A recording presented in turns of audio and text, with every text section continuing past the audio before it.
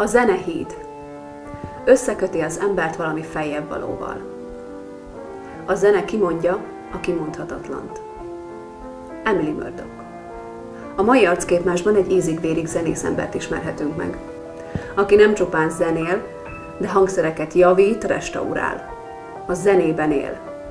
Balog Lajos. A zenehíd, föld és menny között. Utazzanak ma velünk!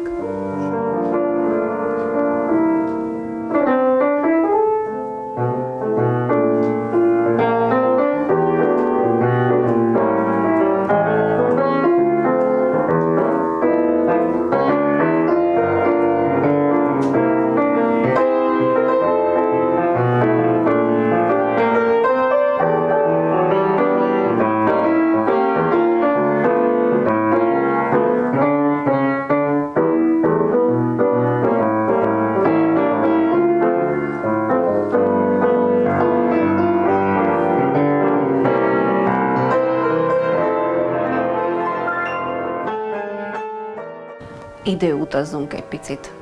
A gyerekkorodról, amit jól esik elmesélni, és amit meg tudsz velünk osztani, azt légy szíves, tedd meg velünk. Gyerekkor az egy érdekes kérdés, mert elég régen volt. A legtöbbre, amire emlékszek, az a Beregszázi Zeneiskola. Még is ott nőttem fel. Édesanyámék, édesapával nyomtak mindenféleképpen zenei pályán. Ők is zenészek voltak? Nem voltak zenészek, csak szeretik a zenét. Zeneiskolába zongorára felvételiztem, és ott kezdtem tulajdonképpen a pályafutásomat, zenészként. Hány évesen? Azt hiszem hét. Öt évesen kaptam az első zongorámat édesapától. Emlékszek rá, hogy álmomból költött fel, hogy menjek megnézem az ajándékomat, és azonnal odaültettek, hogy zongorázak valamit. És? Ott kezdtem el a belenövést a zenébe.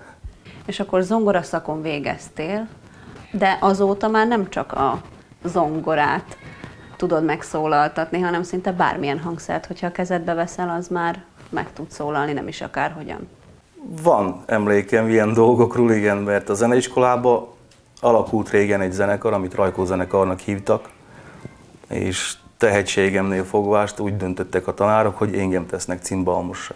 Először találkoztam a hangszerrel, mint ütős hangszerrel, ütős húros hangszerrel, hát és azt is addig ütöttem, míg ki nem húztam belőle a hangot. Azóta a fúvós hangszereken is tudsz játszani. Hárman vagyunk testvérek. Engemet a szüleim zongorára adtak, közepső öcsémet szakszafonra, legkisebbik öcsémet hegedűre. És kicsit, ha előrébb megyek az időbe, akkor van nálunk olyan szokás, hogy éjjeli zene. Szerelmes párok egymás, a hölgyeknek éjjeli zenét adnak, és sokáig nem volt szakszafonosunk. Akkor folyton ebbe a problémába ütközve, hogy nincs zenész, nincs zenész, elvettem a szakszafont, és elkezdtem fogni.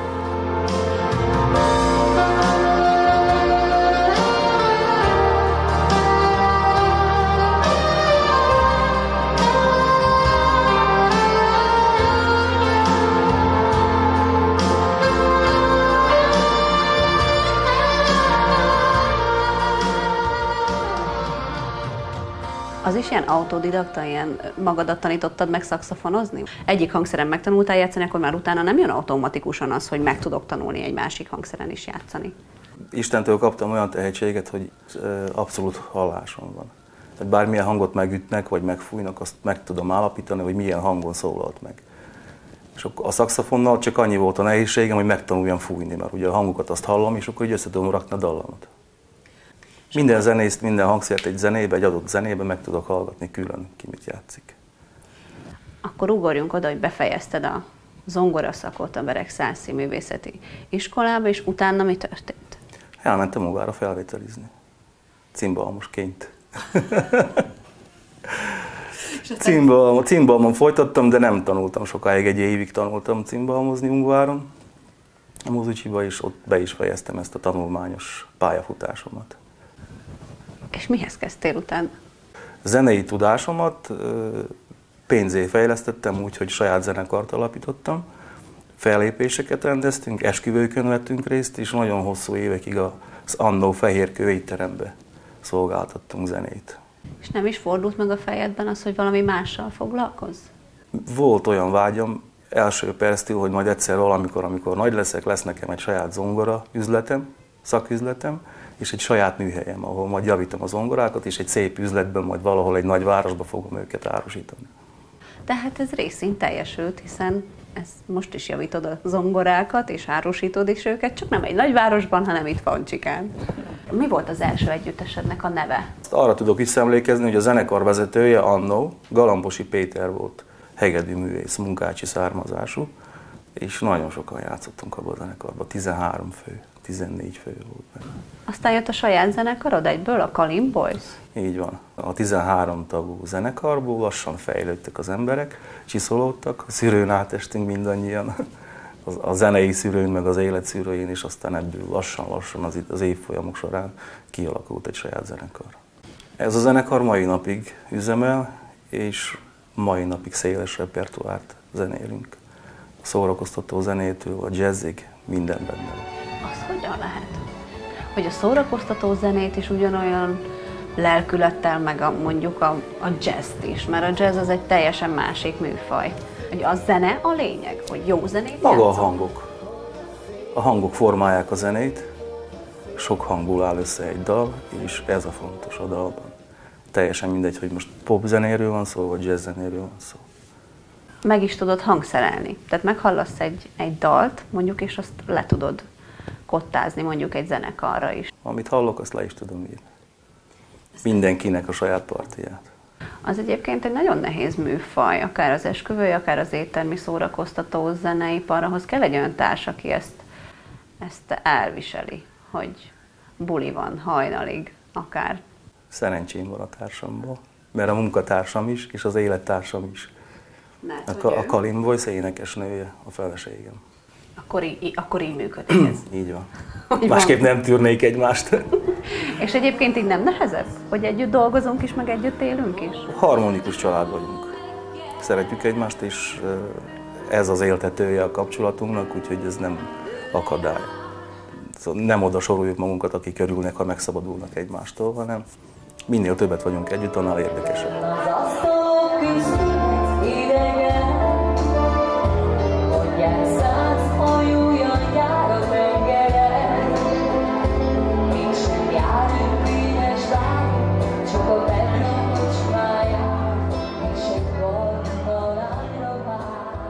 És van is két gyermeketek.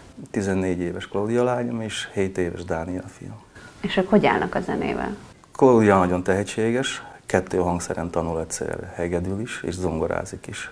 A Dániel pici fiam az most csak ilyen művész, művészi szinten ütögéli a zongorát, és megtapsoltassa magát, hogy most milyen ügyes voltam. És hangjuk is van, mint az édesanyjuknak? Tehát mind a két részről ör- örököltek? Mind a kettő. Azt hiszem Klaudiának jobban megy az éneklés, mint a hangszeres játék. És jobban is tetszik neki. És ezt te szeretted volna, hogy tanuljon, vagy pedig ő választotta a zenét, mert annyira hat rá a ti életformátok, hogy ezt... Úgy gondolom, hogy minden gyerek a szülőt veszi példaképé, és igyekszünk jó példát mutatni a gyerekeknek, zenei pályán is. Hogyha csinálunk valamit, akkor csináljuk jó. Te gyakorolsz vele? Vagy hagyod, hogy a tanár irányítsa őt abszolút? Folyamatosan gyakorolunk. Felülvizsgálom, mit csinál. Mit tudsz neki tanácsolni, amit esetleg egy tanártól nem kaphat meg? A hangszer és az előadó közti kapcsolatot. Milyen kapcsolat van a hangszer és az előadó között? Beszélgetni kell a hangszerrel ahhoz, hogy megértsd, hogy mit, mit tudsz belőle kihozni. Mi az, amit ketten összhangba el tudtok érni vele. Mert nem elég, hogy csak úgy nyomogáljuk azt a billentyűt, és akkor kicsoljuk belőle a hangot, hanem minden hangszernek saját lelke van, ami, amit, amit meg kell érteni, hogy mikor kezd el működni, mikor kezd el veled közreműködni, és akkor így tudsz szép dallamokat lejátszani rajta. Mi az, amit szíve, legszívesebben játszol? Hogyha mondjuk itthon leülsz, mi az, ami, amit elkezdesz játszani a hangszeren? Általában csak így, így vándorolni szoktam a hangok közt. Már hogyha mérges vagy, akkor nagyon dühös dallamok jönnek? Akkor sem dühös dalamot, csak akkor más jellegű a zene. Mikor jó kedvem van, megint más jellegű a zene.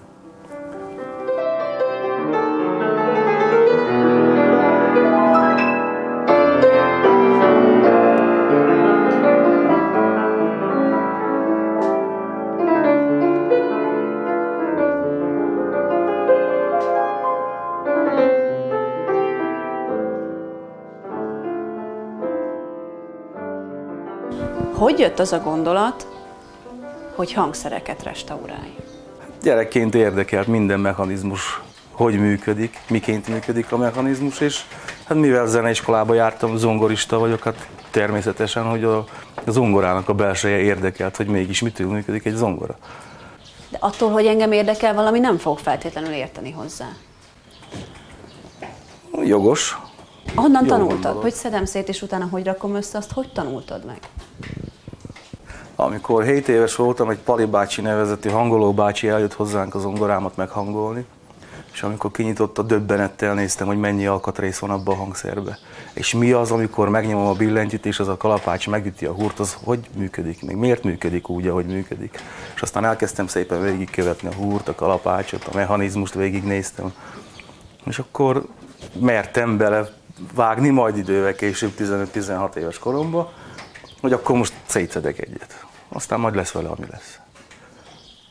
És lett? Igen, Össze is tudtad rakni az első nem hangszert, raktam amit szétvettél? Nem, nem. Ő volt az első alanyom, a, a sikertelen alanyom a zongora restaurálás pályafutásom alatt, de valahogy el kell kezdeni. És a másodikat már akkor sikerült összerakni? A másodikat már sikerült felhangolnom.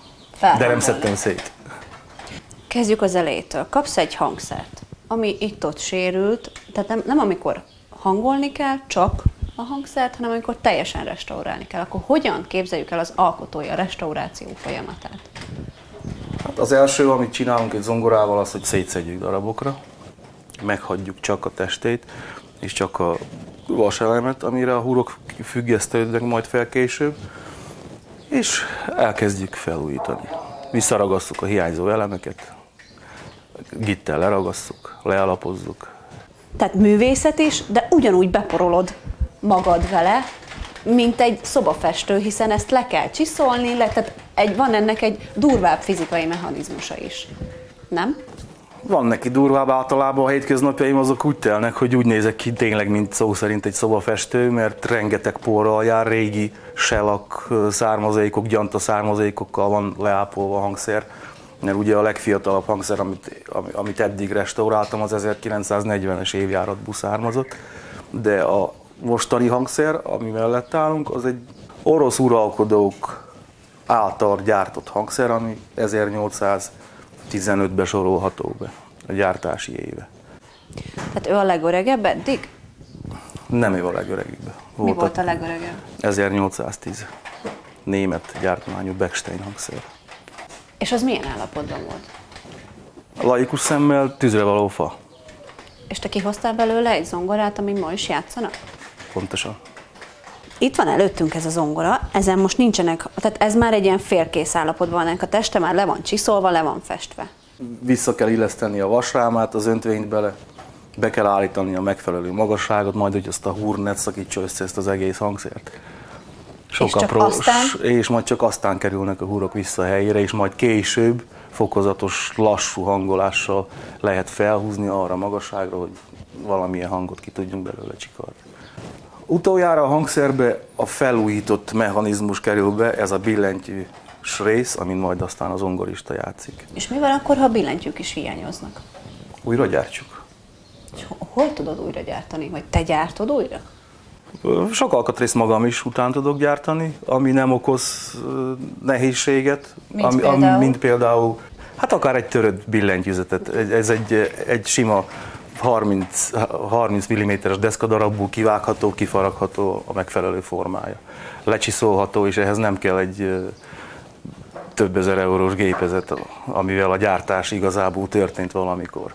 Szeretem ezt, amikor a művész emberek, meg a mesteremberek azt mondják nekem, hogy hát egy 30x30-as deszkalapból össze lehet tákolni. Én mégsem vagyok rá képes, hogy annyira magától, magától értetődőnek számít ez annak, aki ért hozzá, mint annak, aki nem ért hozzá, hogy hogyan működik. Tehát akkor egy billentyűt ki tudsz faragni, és akkor csak szépen beteszed, ráteszed a párnát is. Tulajdonképpen másolatot csinálok az eredetiről. Bizonyos számítások alapján, hol legyen a törésszög, hol legyen a kanyarítás benne, és akkor lemásolom, szépen beillesztem a helyére, és addig csiszoljuk, amíg úgy nem fog működni majd, mint az eredeti működött. Csak ezt a munkát tíz éve csinálom. Úgyhogy teljesen szétszedem őket, és újra összerakom új alkatrészekkel. És végül is még egy második életet adok nekik. Tehát itt van előttünk ez a szép nagy zongoratest, már csak a húrok hiányoznak innen? Ez egy 30%-ban elkészült zongora, amiből hiányzanak még a szegek, hiányzanak belőle még a húrok, hiányzik belőle a mechanizmus, hiányzik belőle a húrokat tompító mechanizmus, ami billentyűzet elengedéskor megszünteti a hangot a zongorába. És még sorolhatnám sok-sok-sok-sok. Tudunk mutatni olyan szeget? Mert a húrokkal mindenki tisztában van, de mik azok a szegek? Ezt az alkatrészt hívjuk szegeknek, amire függesszük a húrt majd, és visszailleszük a helyére. Tehát erre tekeredik rá Erre tekerjük majd rá a húrt, és ezt tekerjük majd felhangoláskor. És akkor a húr ugye ide van egész kifeszítve mondjuk annak a... Mindegyik húr más helyre van feszítve, de nagyjából szabályos. Itt, itt kezdődik is ilyen árva, árfaszerűségbe, húzódik végig évbe is. Hát mutatok egyet, jó? Mindegyik zongorának ugyanolyan húrjai vannak, vagy vannak olyan húrok, amik, vagy a zongorák, amik... Mindegyik zongorának a felépítése könyvben megírt szabályok alapján történik, ami előírja, hogy az- a legelső, vagyis a legvékonyabbik hangnak a húrja nem lehet több, mint 0,85 mm. Ez alapján indulunk el, és aztán kiszámoljuk, hogy mekkora hosszúságú a zongoránk, és mikor végződnek ezek a bizonyos vékony acélhúrok. Akkor minden zongora egy-egy számtani feladat is. Igen, benne van a matematika rendesen. Nem elég művészembernek lenni. Még érteni kell a matekhez is. Hát, kisfiúként, kisfiúként nem is inkább a matek érdekelt, ez majd utána jött később akadályként, ugye, mert mondták a szülők, hogy tanulj gyermekem, tanulj gyermekem, de az iskola nem igazán tudott érdekelté tenni. Állandóan a zeneiskolába csüngtem, és állandóan a hangszerek környékén. És később jött az akadály, hogy ugyan, ugye itten nagyon sok matematika van, ami nélkül nem tudom tovább folytatni a munkámat. Az első matematika. Néhány centiméter, az ujjamat használom. Az ujjad a vonalzó? Az ujjam a vonalzó, és akkor nagyjából az ujjam, az ujjaim után vágom le az 5 centit. Minden húrnak a, Tehát a három ujjad az 5 centi. körülbelül. És akkor bedugjuk a szegbe a húrt.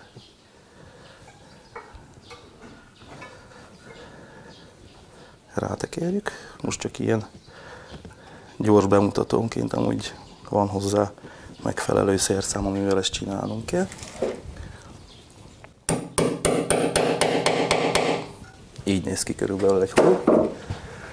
Elsüllyesztjük szépen, és aztán kezdjük majd felhangolni. Ez most két húr. De egy hang? Ez két húr, és egy hangnak a 45 százaléka. Melyik a leghosszabb zongora, vagy melyik a leghosszabb távolságú húr?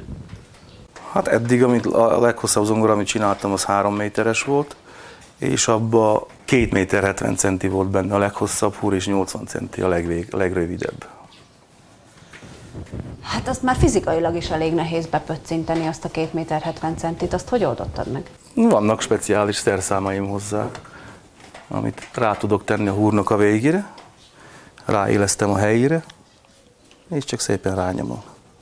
És mennyire lehet belenyúlni egy régi hangszernek a hangzásába? Tehát nem az a lényeg, egy picit most csak a restauráció, nem az, hogy helyrehozzunk egy adott zongorát, hogy ugyanolyan legyen, hanem a régi, például egy 1810-es zongorában nem az az izgalmas, hogy ugyanúgy szóljon, mint 1810-ben? Zenészként, zongoristaként nem tudom azt, érke, azt értékelni, hogy 1810-ben volt gyártva és rosszul, hanem igyekszem küszöbölni azokat a hibákat, amit elődeim követtek el, vagy úgy tartották helyesnek, hogy úgy lenne jó összerakni. Ezeket a hibákat kiküszöbölve, új számításokkal, új beállításokkal sokkal szebb hangzást tudunk elérni egy zongorában. A fő célom az, hogy az adott hangszerből a maximálisat préseljük ki a legjobbat, amit ki lehet hozni abból a fadarabból, abból az öndvényből, abból a húrozatból, a legszebb hang jöjjön ki belőle. Hogy elégedett legyek vele, amikor elkezdek kommunikálni.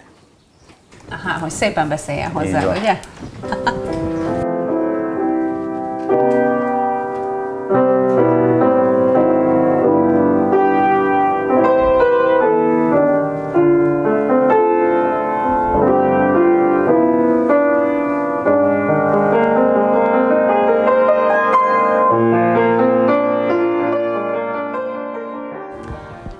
Óra munka folyamat onnantól kezdve, hogy átveszel egy zongorát restaurálásra, és átadod a zongorát, mint már kész hangszer?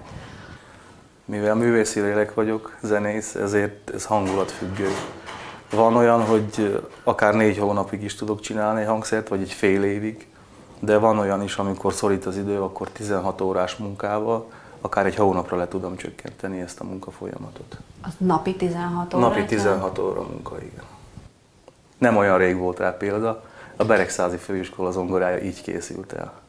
Az az információ, hogy Ukrajnában mindössze 5, avagy 6 darab zongora restaurátor működik, és azok közül az egyik te vagy.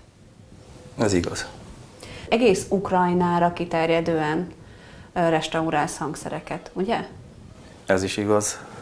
Bár itt restaurálom őket a saját műhelyembe, Kárpátalján, kis fancsikai faluba, de a, a, a, az igénylőkör az Odessa, Kijev, Harkov és Ukrajna több-több pontja. Kik azok, akik megkeresnek téged ilyen?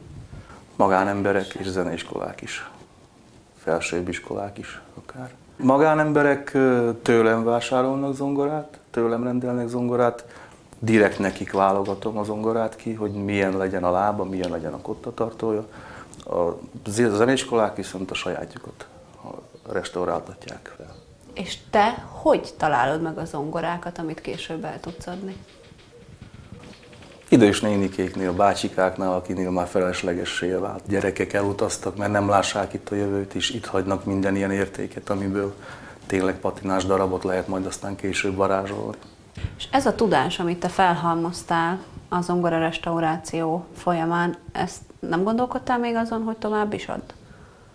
Hát a pici fiamnak biztos tovább fogom adni, az mindig ítsünk mellettem. Ahogy egy kis ideje van, rögtön bejön hozzám is. Apa segíteni akarok, apa segíteni akarok. Hát szerintem bele fog nőni úgy, ahogy én is belenőltem annak idején. És hogyha most azt kérném, hogy ö, apostrofáld magadat, hogy Balog Lajos zenész, vagy restaurátor, vagy, vagy mi, milyen címet adnál magadnak? Jó kérdés. Mi vagy inkább? Életművész, az ugye jó szó? Az tökéletes. Balog Lajos életművész a hangszerek világában. Köszönöm szépen.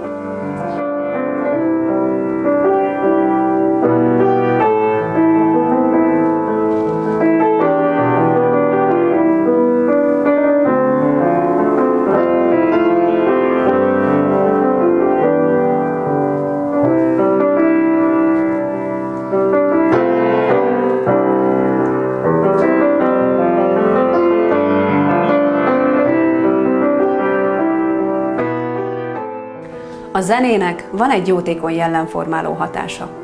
Sokrétűen fejleszti a személyiséget. Balázs János. Legyünk művészek, életművészek, mint Balog Lajos, a mai riportalanyunk.